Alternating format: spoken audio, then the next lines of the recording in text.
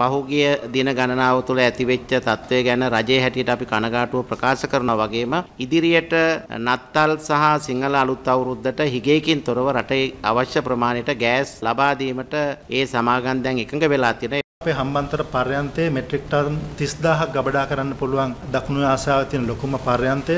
ඒකට අපි 12 වෙනිදා අපි මෙට්‍රික් ටන් 22000ක් ලංකාවට ආනයනය කරපු විශාලම ගෑස් තොගය අපි ගබඩා කරනවා. එතකොට මෙට්‍රික් ටන් 27000ක් අපි එහි ආරක්ෂිත තොගයක් වශයෙන් ගබඩා කරලා තියෙනවා. අවශ්‍ය වෙලාවට නිකුත් කිරීම සඳහා මම හිතනවා ඒකත් එක්ක අපිට හැකියාව තියෙනවා ඊළඟ මාස 3 4 තුල පුරාවටම කිසිම ප්‍රශ්නයක් නැතුව අකණ්ඩව අපගේ පාරිභෝගිකයන් ඒ අවශ්‍ය කරන සහයෝගය ලබා දෙන්න.